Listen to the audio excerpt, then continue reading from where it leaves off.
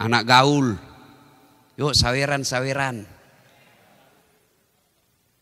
Lima ribu cari kawan. Sudah dapat.